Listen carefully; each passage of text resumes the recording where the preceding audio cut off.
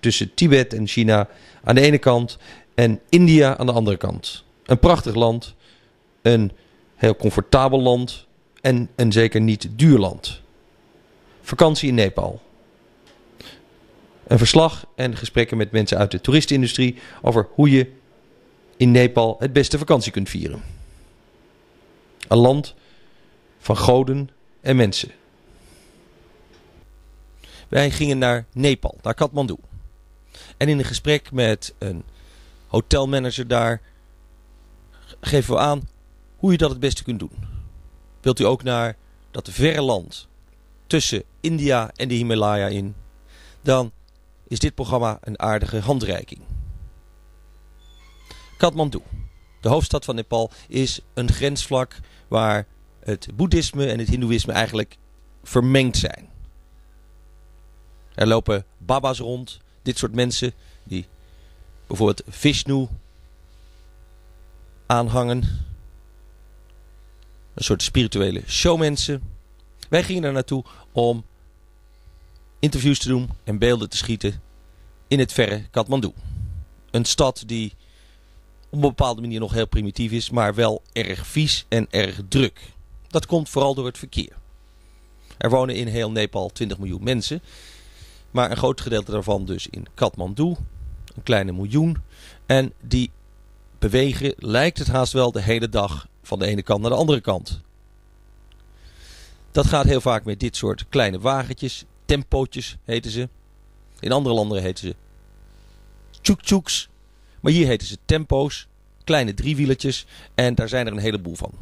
En de meeste, niet die witte die u daar zag, maar die zwarte, braken een hele vieze rook uit. Het zijn nogal luchtverontreinigende dingen. En met zoveel verkeer zoals u nu ziet, is duidelijk dat dan de stad gauw een stinkzooi wordt.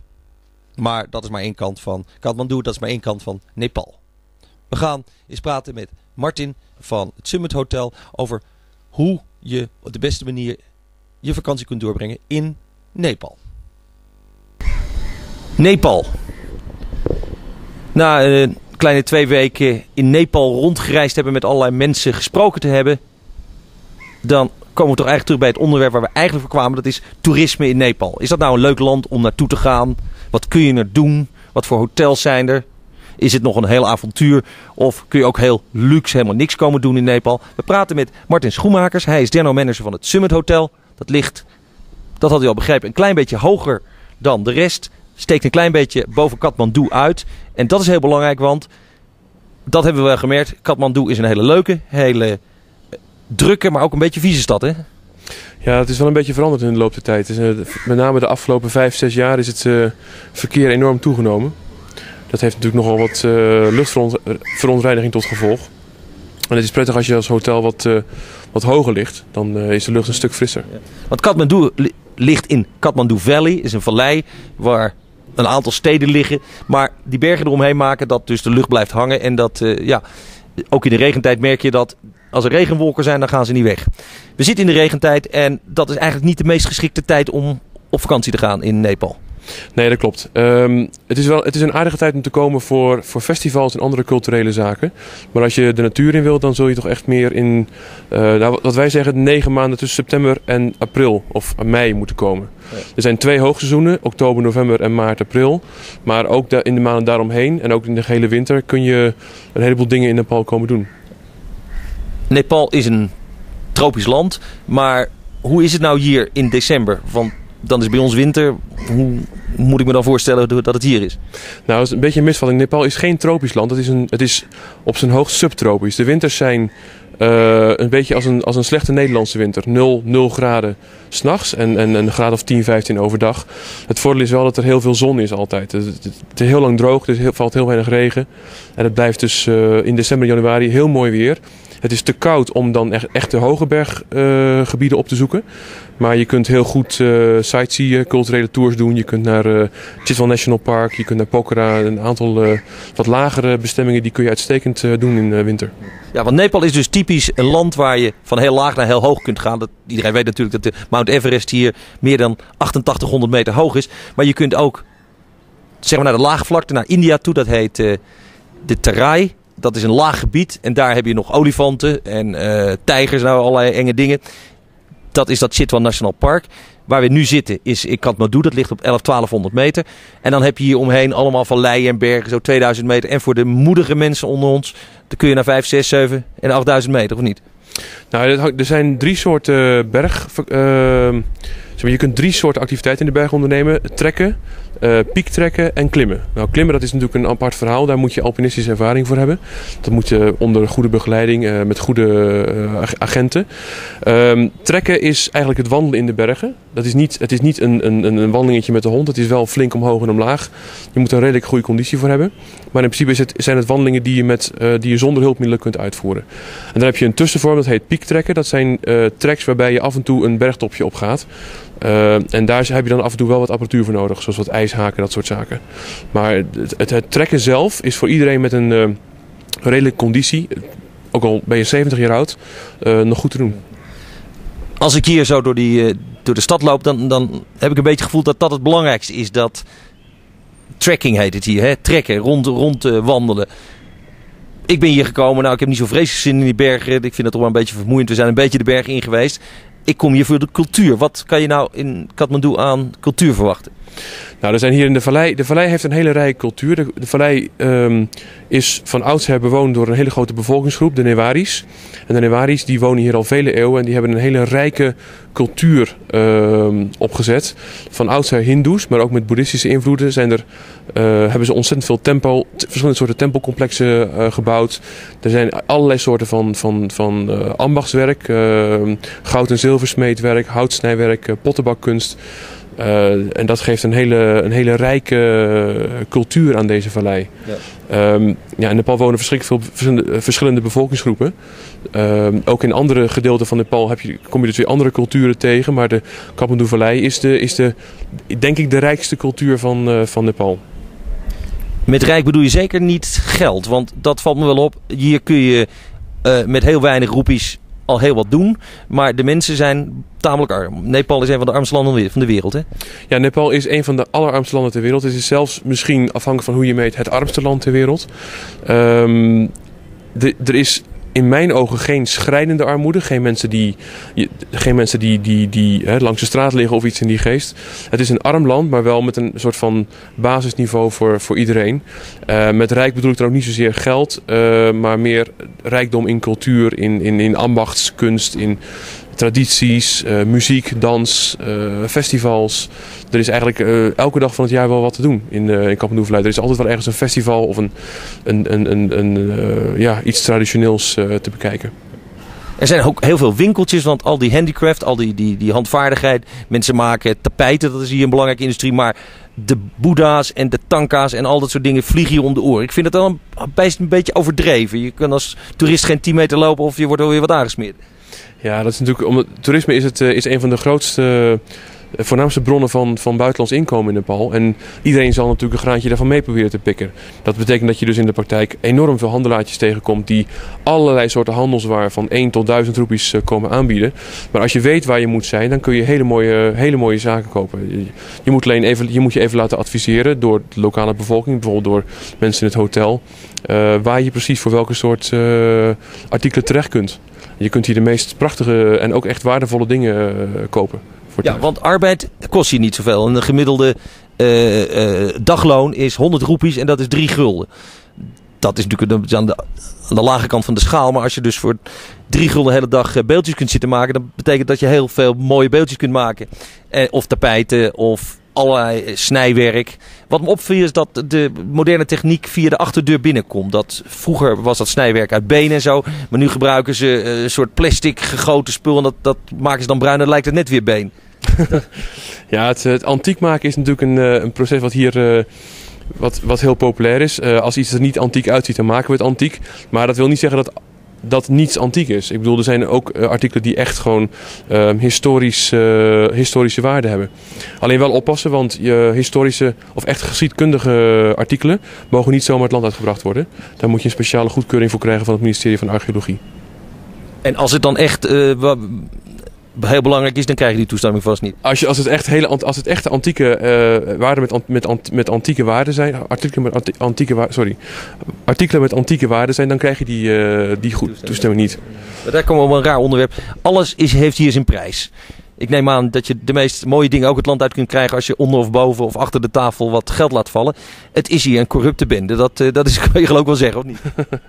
Nou, dat, dat, ga ik niet, eh, dat ga ik bevestigen of ontkennen, maar eh, het is, het werkt, de zaken werken wat anders hier dan in, eh, dan in ontwikkelde landen. Dat, is, dat is waar.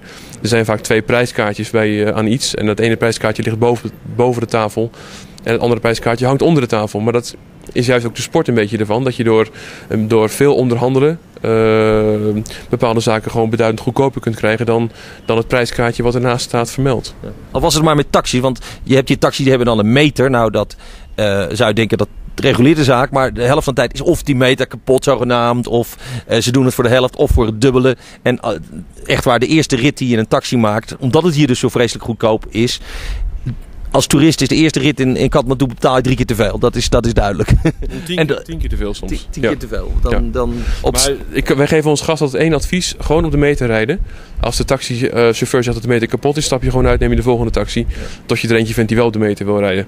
Want als je namelijk gaat onderhandelen, dan onderhandel je. Dan begint de chauffeur met 10 keer te hoog. En dan onderha- onderhandel je het omlaag tot 5 keer te hoog. Maar je betaalt nog altijd 5 keer te veel.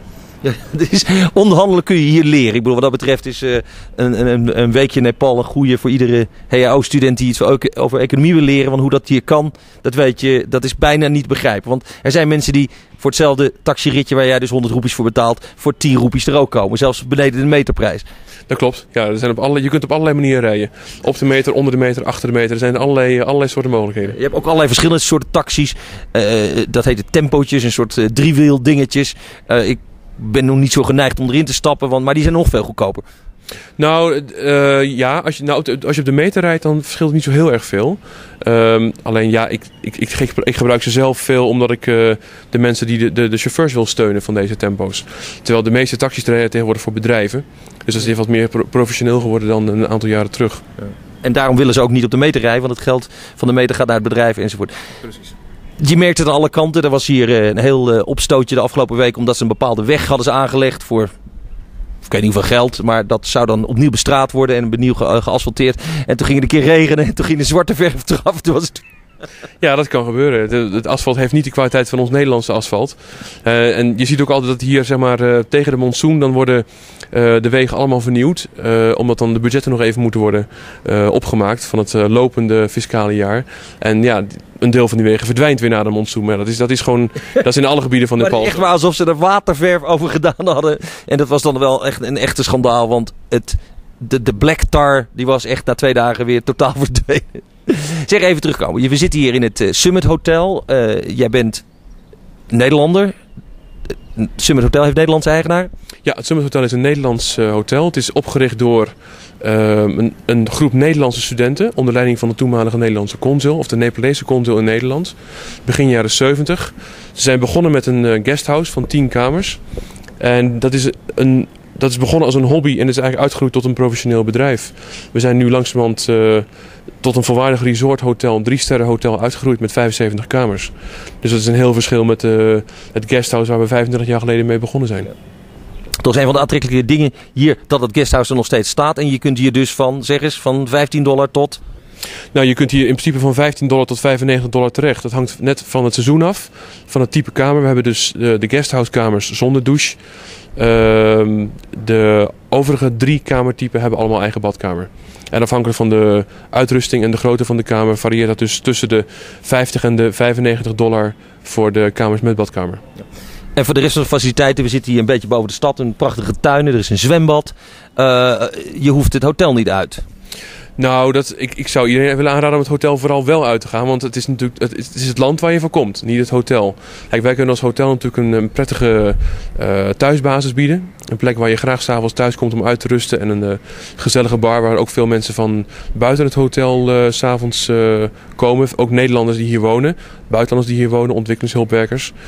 Maar je komt hier voor Nepal. Je, je komt hier om het, om het land te ontdekken. Of, of je nou de culturele kant of de natuurkant wil ontdekken.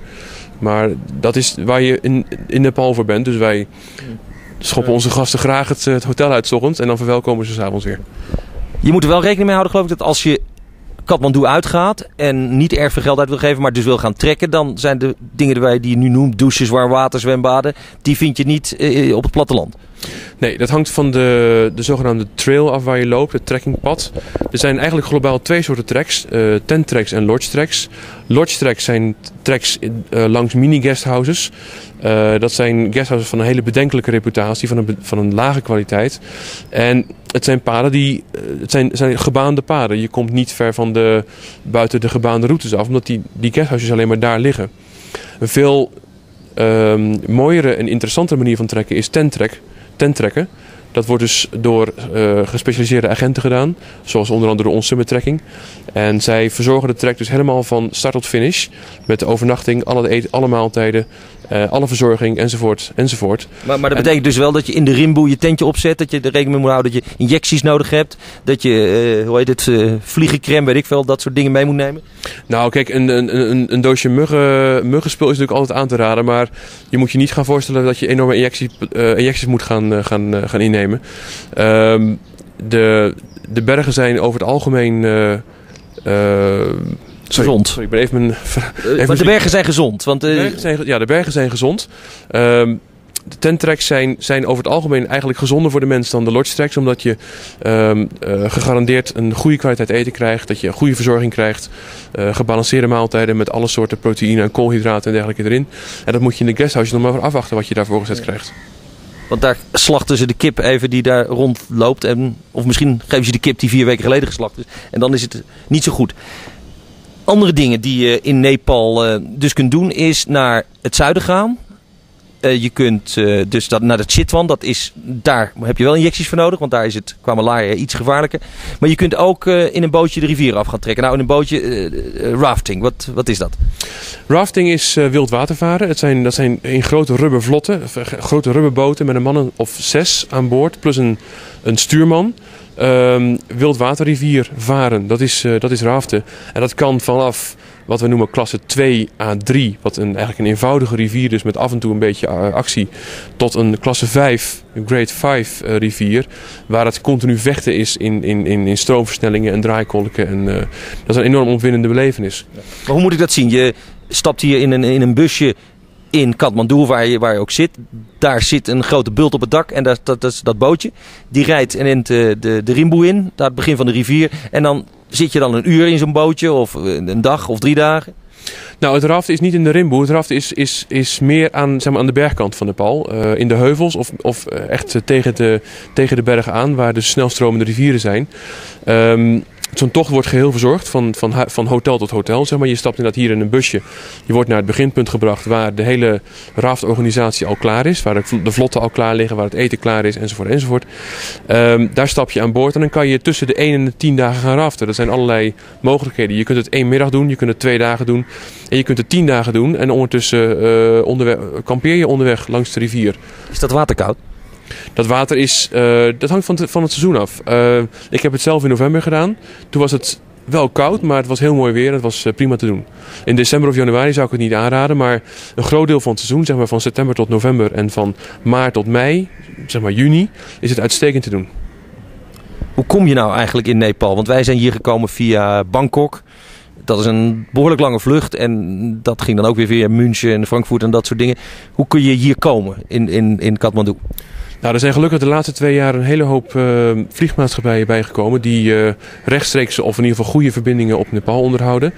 De beste is natuurlijk onze Nederlandse partner Transavia, die uh, tussen 20 september en 10 mei globaal een chartervlucht uitvoert. Eén keer per week op vrijdagavond vertrekken en zaterdagmiddag aankomen. En verder zijn er internationale vluchten van onder andere Qatar, van Gulf Air, van uh, Thai en Singapore, alhoewel je daar een beetje mee omvliegt. Um, uh, over de Arabische Emiraten, Dubai en zo, dat zijn allemaal. Dat ligt redelijk in de lijn. Je vliegt naar Arabië en van daaruit rechtstreeks naar Kathmandu. Ja, en er is nog een goede bijgekomen. Austrian Airlines die rechtstreeks van um, Wenen naar Kathmandu vliegt en weer terug. Dus deze, vlieg, deze vliegverbindingen naast zeg maar, de, de, wat, de wat oudere klassieke verbindingen als uh, Pakistan Airlines en Biman Bangladesh en ook Royal Nepal zelf... Um, geven bij elkaar een heel rijk uh, aanbod aan vluchten. En als je in Nepal verder wat buiten Kathmandu wil kijken, dan ben je ook snel toe aan zo'n vliegtuigje. Zelfs als naar Chitwan kun je beter een vliegtuigje nemen of naar Pokhara. Hoe werkt dat? Die, die binnenlandse vluchten dus. Nou, je kunt, nee, je kunt eh, Pokhara en Chitwan, de, zeg maar, de, de andere grotere toeristische gebieden, kun je heel goed over land bereiken. Dat zijn vaak eh, bustochten van een uurtje of vier, vijf. Maar dat zijn hele mooie tochten door, door de heuvels met mooi uitzicht onderweg. Ehm, wat we vaak doen is zeg maar... Ah, wacht even, dat klinkt, dat klinkt eventjes te mooi. Want wij hebben ook zo'n paar uur in zo'n busje gezeten. Eh, dan moet je wel een tamelijk stevige maag hebben. Nee hoor, dat hangt van, dat hangt van de kwaliteit van het vervoer af. Misschien heb, je, Oh, ja, een, eh, heb je de verkeerde bus Nee, maar die, die weggetjes, dat gaat allemaal zo naar boven natuurlijk. Ja, het zijn, maar het zijn bergtochten. Het zijn, het zijn maar tochten door heuvels. Maar het zijn hele mooie tochten. Ik heb ze zelf meermalen. Ik ben meermalen naar Pokhara en Chitwan geweest per bus. En het, zijn prachtige tochten. Wat wij vaak doen is eh, de mensen één, de, de, de ene kant op met eh, over land en de andere kant op door de lucht sturen. En dat door de lucht, met wat voor maatschappijtjes zijn dat dan? Dat zijn meestal lokale maatschappijen, maar er zijn tegenwoordig lokale Nepalese vliegmaatschappijen die met splinternieuwe vliegtuigen vliegen. Amerikaanse Beechcrafts bijvoorbeeld, ehm, die eh, heel snel en zeer betrouwbaar eh, zijn. En die, die overal En moet je dat vanuit Nederland regelen of kan je dat hier regelen? Nee, de meeste lokale vluchten regel je hier, want dat is heel moeilijk internationaal te regelen. Maar hier in Kathmandu zijn overal agenten en wij, daar kunnen wij ook in be- in bemiddelen om die vluchten gewoon vanaf hier te boeken. En waar praat je dan over? Naar zo'n zo'n Pokhara, dat is een groot meer. En dan zit je vlak voor de Annapurna. Dat is dan, ja, in Kathmandu zit je omringd door de bergen. Alleen, je ziet die hele hoge dingen niet. Ofwel vanwege de, de, de, zoals vandaag hier, de regentijd. Maar ik geloof als je op het allerhoogste gebouwen zit, dan kun je nog een beetje zien, hè? De, bergen. De, ja, dat hangt van het seizoen af natuurlijk. De, het, het beste seizoen voor uitzicht is het najaar. Dat is tussen september en december, zeg maar. Ehm, als je meer van de natuur, van, van ja, flora en fauna, van bloemen houdt, dan is het voorjaar eigenlijk een mooiere, mooiere tijd. Dan is het uitzicht wat minder, maar er zijn wel veel meer rhododendrons en andere hè, jacarinda's en andere bomen en struiken en, en, en bloemen onderweg die... eh, Even, even terug op die vlucht naar Pokhara. Wat kost zoiets? Eh, dat weet ik niet uit mijn hoofd, het tarief, maar dat Nou, is... dat weet ik dan toevallig. We konden voor 62 dollar de man naar Pokhara vliegen. Dus dat geeft je dan een beetje idee wat dat kost. En de bus is dan wel een stuk goedkoper, maar dan zit je inderdaad een aantal uren. Ja, een betrouwbare toeristenbus kost tegenwoordig rond de 250 roepies. En een roepie is ongeveer 3 cent. Dus dat is niet al te veel. Je kunt ook zelf een auto huren eh, en niet, niet zelf rijden, want een mannetje erbij kost haast niks. Wat kost dat per dag, zo'n een auto, om een beetje rond te rijden? Wij hebben vanaf hier, vanuit het hotel, een taxiservice die, da- die dagelijks eh, eh, tochten uitvoert. Die kun je boeken voor tussen de 1000 en de 1500, misschien 2000 roepies per dag. Dus dan praat je maar tussen de 30 en de 60 gulden per dag. Heb je een hele dag een, een auto met chauffeur die eh, hier, althans binnen de vallei, eh, alle zaken laat zien. Ja. En voor, het langere, voor de langere tochten naar Pokhara en Chitwan kun je inderdaad ook bij gerenommeerde bedrijven hier taxis met chauffeur huren. En dat zal rond het, ik denk, ik denk dat het rond de 2000 roepen per dag is. Die tochtjes die je maakt, dat zijn tochtjes ofwel naar een berg ofwel naar een, een wildpark. Maar ook heel veel naar tempels. Heb je daar gidsen voor nodig? Want het is nogal complex. Ik eh, weet wel iets van boeddhisme en zo, maar... Jongen, jongen, jongen. Het hindoeïsme en het boeddhisme wordt hier in een, op een vreemde manier gemengd. Er zijn beelden van goden waar ik ook geen idee meer van heb. Heb je daar een gids voor nodig? Nou, ik ken ook lang niet alle goden, want er zijn er geloof ik 4 miljoen in het hindoeïsme. Dus dat, die, die kun je ook niet allemaal kennen. Maar er zijn hele goede gidsen hier lokaal verkrijgbaar. Wij kunnen daar zelf in bemiddelen. Wij kunnen die gidsen eh, aanbevelen. Eh, wij doen ook groep, groeps ehm, rond, eh, hoe zeg dat, groepstrips eh, in de vallei. Met, eh, met gerenommeerde Nepalese gidsen die goed Engels spreken. En die kunnen je alles over het hindoeïsme en over het boeddhisme vertellen. Als je camera's meeneemt, eh, heeft dat zin? Mag dat? Krijg je daar problemen mee? Kleine camera's is nooit een probleem. Gewoon eh, zeg maar, eh, videocamera's kunnen altijd worden gebruikt. Voor grotere camera's, maar dan praat je echt over professionele camera's, moet je een permit hebben. Maar dat zal je normaal gesproken, dat zijn niet de camera's die je als eh, bezoeker van Nepal gebruikt. Over permits gesproken. Ik heb ook begrepen dat als je naar hele afgelegen stukken van het land wil, naar Mustang en eh, Dolpa, eh, echt dan praat je er al over eerst een heel stuk vliegen en dan nog een paar dagen lopen. Daar heb je ook tracking permits voor nodig. Ja, nou er zijn eigenlijk drie soorten gebieden. De overheid heeft eh, sinds een week geleden voor een aantal populaire trekkinggebieden de, de permits vrijgegeven. Dus die, daar zijn geen permits meer voor nodig. Dan zijn, dan zijn er een aantal ehm, andere trekkinggebieden waar een, zeg maar, een normaal trekkingpermit voor nodig is. En er zijn enkele ehm, besloten gebieden in Nepal waar je een speciaal permit voor nodig hebt. En die zijn heel duur. Maar dat maakt het natuurlijk ook wel heel exclusief om daar, eh, om daar dan, eh, dan heen te gaan. En het idee is dat ze daar maar 15 of 20 toeristen tegelijk willen toelaten om, om de lokale situatie niet te verontrusten. Ze willen, de, ze willen die gebieden behouden voor het, voor het nageslacht. En ze willen daar ze willen zorgen dat, dat er dus niet te, veel, ehm, eh, ja, niet te veel gebruik van wordt gemaakt van die gebieden. En daarom eh, hebben, ze, hebben ze daar een heel duur permit voor. Maar goed, dat is op de totale kosten van je vakantie. Het is aanzienlijk, maar het is wel, het is wel te dragen. Oké. Goed, nou nog even wat praktische dingen die wij hebben opgemerkt. Je moet dollars nemen, eh, meenemen, want, eh, of guldens, dat maakt niet uit. Maar Nepalese roepies kun je niet eh, in Nederland kopen. Nee, je kunt buiten Nepal nooit Nepalese roepies kopen. Je kunt ook geen Nepalese roepies terugwisselen. Dus als je hier zeg maar, ehm, buitenlandse valuta voor Nepalese roepies inwisselt, dan zul je de Nepalese roepies op moeten maken in het land. Wij raden altijd iedereen aan om ehm, eh, een creditcard mee te nemen. De bekende creditkaarten, Eurocard, Mastercard en, en eh, Visa-kaart en American Express worden hier gewoon overal geaccepteerd. En is er indien niet mogelijk traveler checks. Nee. Neem niet En- te veel cash mee. En wat je dus over hebt, daar kun je dus op het, eh, op het vliegveld nog allerlei dingetjes kopen. Duurder dan in de stad, maar goed, dat is dus het hele idee. Je komt en je denkt, ja, wat moet ik weer met die rare, rare muntjes? Ehm, dat was een, een van de dingen die ons opviel. Eh, kleren kun je hier goedkoop laten maken. Viel me op dat het niet de kwaliteit heeft bijvoorbeeld van Hongkong of Bangkok. Je kunt dus heel goedkoop, zeg maar voor een paar tientjes... eh, een broek laten maken, een shirtje voor eh, 15 gulden. Hangt natuurlijk van de kwaliteit van de eh, stof af. Dat is ook iets wat we wel eh, le- leuk vonden om te doen. Eh, het eten viel ons mee. Er is alles, alle soorten eten te krijgen. Eigenlijk zijn alle soorten, eh, ja, alle soorten keukens hier beschikbaar. Met name de, de Nepalese, Indiaanse, Thai, Chinees. eh, dat soort eh, de meer regionale keukens zijn sterk vertegenwoordigd. Maar je kunt hier ook heel goed continentaal eten. Er zijn Italiaanse restaurants, er zijn hele goede pizzeria's.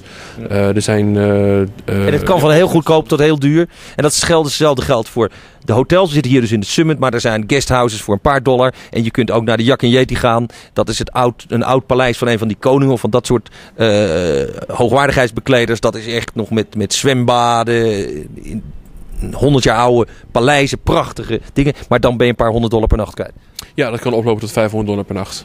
Ja, maar dat is. eh, kijk, veel, veel mensen komen natuurlijk hier op eh, via een bepaald arrangement vanuit Nederland of vanuit waar, waar ze dan ook vandaan komen. En dan liggen de prijzen natuurlijk heel anders. Dan, dan maak je een package deal voor het geheel. Ja, het is het beste om via, voor Nederland, in ieder geval voor Nederland is het beste om gewoon via een gerenommeerde Nederlandse agent te boeken. Oké, nou, dat was Nepal. Hoe ga je er naartoe? Wat kun je er beleven en wat kun je er doen? We hebben gesproken met Martin Schoenmakers in het Summit Hotel in de regentijd. Een klein beetje boven Kathmandu. Dankjewel. Graag gedaan.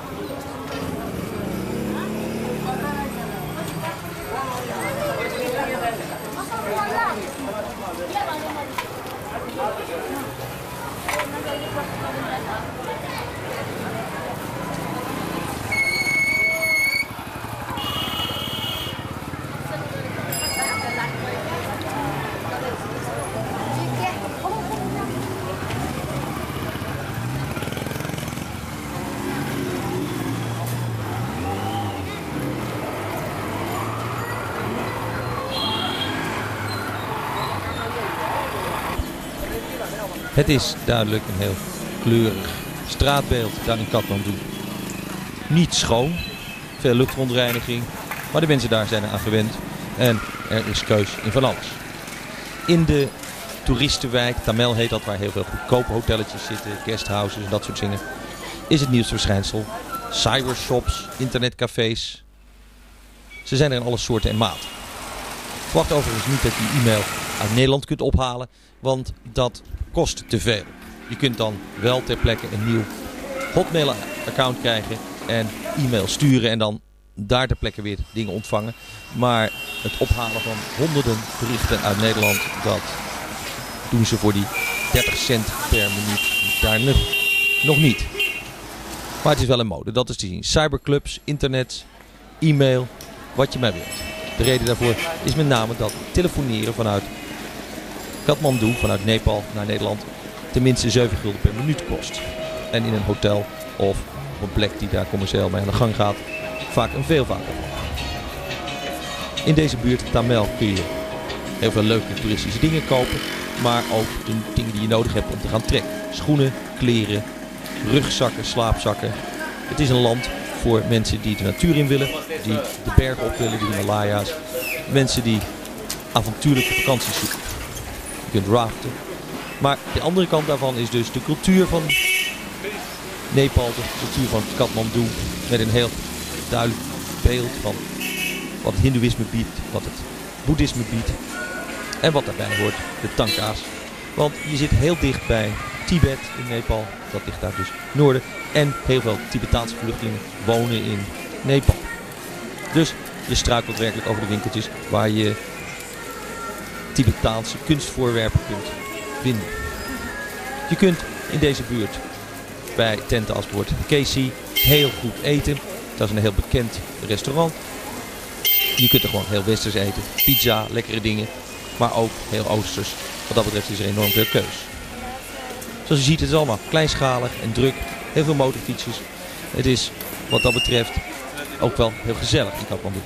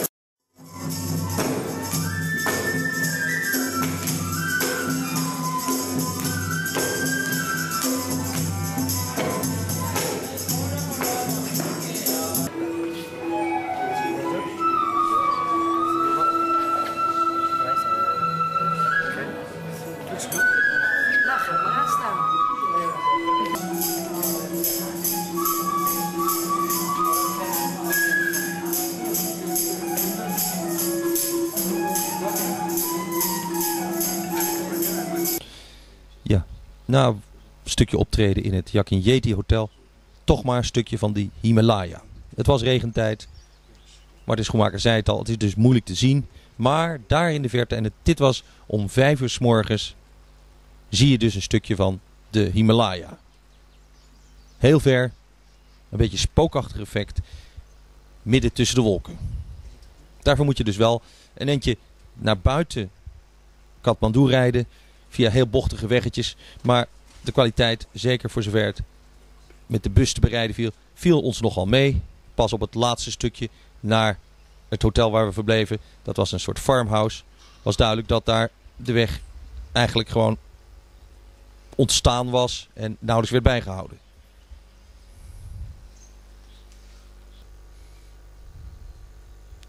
We zitten hier dus op een heuveltop in de buurt van Nagarkot. En daarachter welke bergen nu precies zijn, ja, daar moet je een kaart bij halen. Het is ook heel ver weg met de telelens. Maar je kunt wel een beetje een idee krijgen van het landschap. En als je daar s morgens vroeg zit, in een soort, ja, toch wel vrij primitief farmhouse. Het zijn wel nette kamers, maar je bent duidelijk een end buiten de beschaafde wereld. Een van de hotels heet daar, of een van de restaurants heet dan ook The Restaurant at the End of the Universe. Maar dit is wat je kunt zien. Vanuit je hotelkamer, daarbovenop de bergen. En voor de deurval Je kunt er dus ook naartoe. Maar niet in het regenseizoen. Maar in de rest van het jaar kun je deze bergen dus ook gaan beklimmen. Zelfs de Mount Everest, als je dat zou willen en daar de kunde en het geld voor hebt. Want goedkoop is dat niet. Dit is dus het terrein van de trekkers. De trekkingtochten. Die kunnen heel matig zijn. Gewoon een beetje wandelen door lage heuvels. Tot de allerhoogste toppen beklippen. En als je nou weet dat op een goede dag, een paar jaar geleden, 38 mensen op één dag de top van de Mount Everest hebben gehaald. En dat het verhaal is dat je voor 65.000 dollar, zelfs al kun je nauwelijks lopen, naar die top wordt gehesen. Dan is daar de sport misschien ook een beetje af. Het is natuurlijk heel indrukwekkend om de hoogste berg van de wereld, meer dan 8800 meter, klommen te hebben. Maar je bent in ieder geval niet de enige. Dit was het Restaurant at the End of the Universe. Een beetje hippie-achtige sfeer. En we gaan een stukje door de heuvels rijden. De wegen zijn hier, uh, dat kunt u zien, in ieder geval nog begaanbaar. Een beetje modderig soms. Maar als je door Nepal trekt, moet je wel gewend zijn aan heel veel bochtjes, heel veel heuvels. En bijna eindeloze ritten door die heuvels. Het is op het moment natuurlijk, zoals je ziet, door die regentijd erg groen. In de verte kun je daar Kathmandu zien liggen. Met het vliegveld. Het is dus duidelijk een vallei waar Kathmandu in ligt. En hier wordt gebouwd aan weer een van de nieuwe hotels. Want het toerisme dat groeit nog steeds. Dat gaat, zoals u ziet, nog veel met handwerk. Gewoon alles doorgeven. Toerisme is een heel belangrijke inkomstenbron voor dit land. En er worden ook, daar bovenop die heuvel ligt zo'n wat duurder hotel. Er worden hele fraaie hotels gebouwd. En wat dat betreft kun je alles vinden wat je nodig hebt in Nepal. Natuur en comfort. We gaan hier weer de heuvel af naar beneden.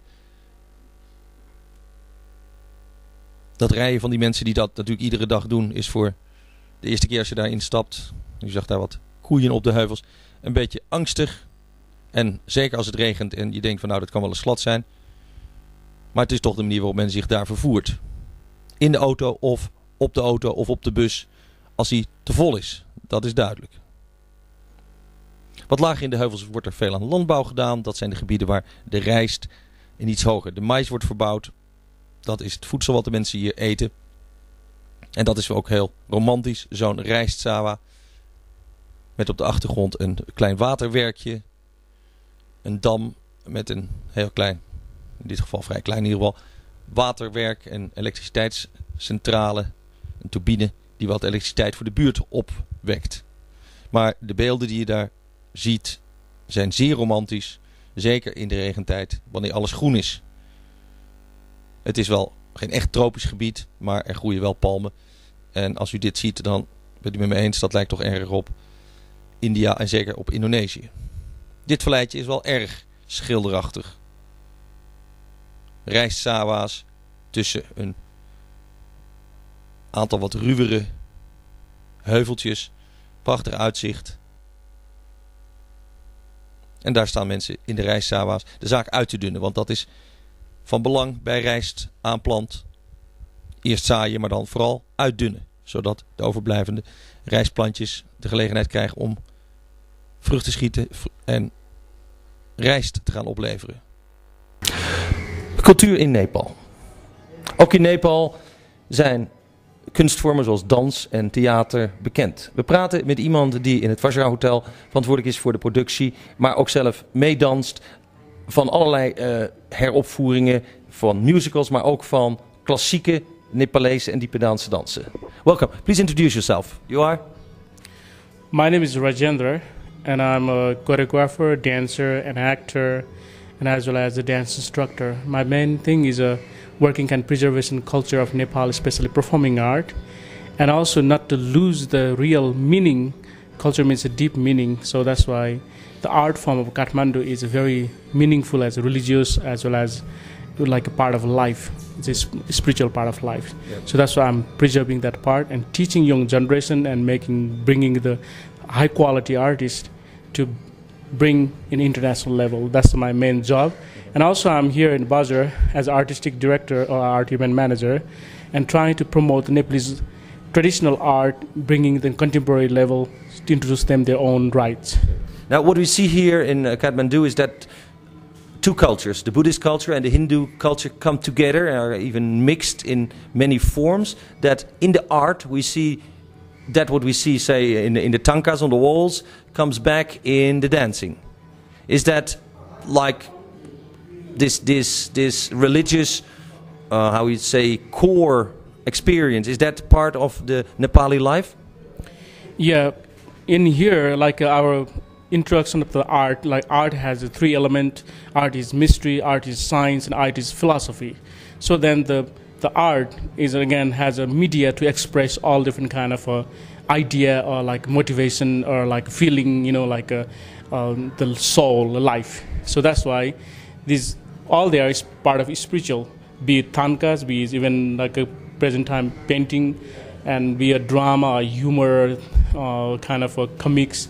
Uh, or like a dance, Every, everything is part of kind of spirituality to give a consciousness, the different form of consciousness. Is there a, a, in in Kathmandu a special uh, art education system, like a, an art uh, academy or an art school? Uh, I'm like we have a TU has a certain branch like music teaching something, but they, don't teach any traditional things. A little bit folk, but not much deeper.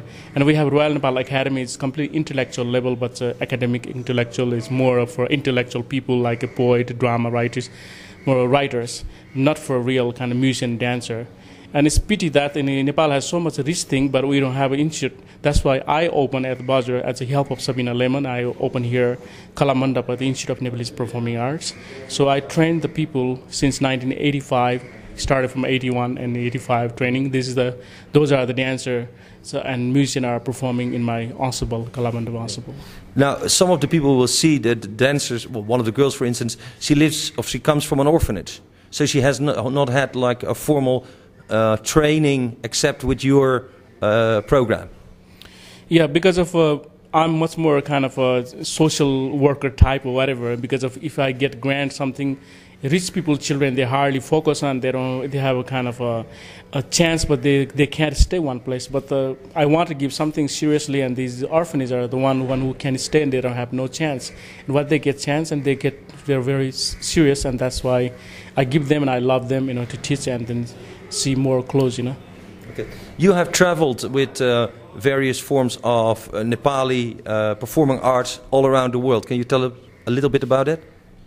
Yeah, I have been in America for six months, North America. I travel, and six months in 1984 I traveled in Europe, and especially kind of a, uh, the, the, Himalayan Festival and also Maison de la Culture du Monde. You know, they're there, and from there, and also Aletu Kanetre. That's the one who has promoted me, and then there like uh, i was not confident in what the artist and here everything is religious to that. And what is artist life? What is art artist express? What's the motivation of artist you know art philosophy? And being in his paris at the high place for the art. And then that's i learned a lot of things and soak a lot of things and brought a lot of confidence. And that's why i'm standing and working here, here in kathmandu.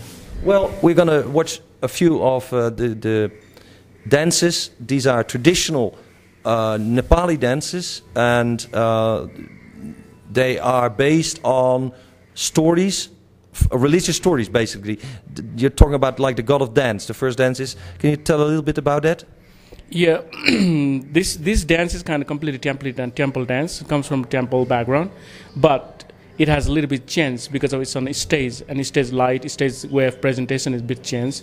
It's, it's since 1952 the, uh, it came on the stage. So so I'm doing more stage type, but having an element of a temple things, and not very much like a ritualistic, but it's art, ritual art, you know, but art as on a stage. So that aspects, and also like there is something evolution change. What what I study in temple has certain kind of a custom, certain things. We don't do all these custom, all rule and regulation, but we show more art and so more clear, so more kind of a um, study more deeper and clear, so it to make it understand and give energy to the people, audience. Okay. Thank you. Well, watch the dances.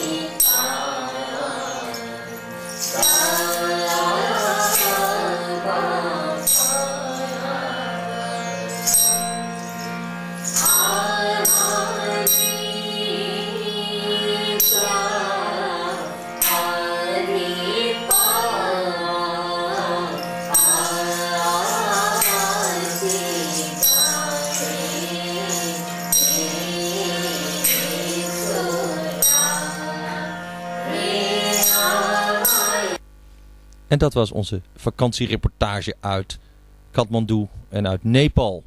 Heeft u ook leuke vakantiefilms gemaakt? Stuur ze op naar Myster, stuur ze op naar Kleurnet.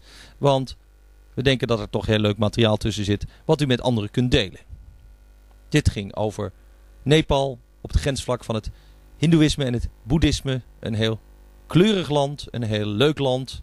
Met wat culturele reportages, met wat gesprekken over vakantievieren in Kathmandu. Over hoe je in Nepal ook kunt trekken en raften en allerlei andere dingen. Wij vonden het leuk om er naartoe te gaan. Hopelijk waardeerde u deze reportage.